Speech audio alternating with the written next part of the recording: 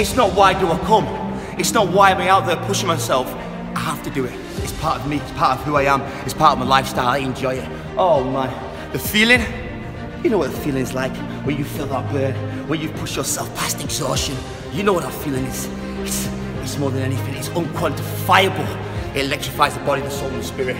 So, to reiterate the question, why does McIntosh train? I didn't choose this game. I didn't choose this. It chose me. And I've been given the power to excel.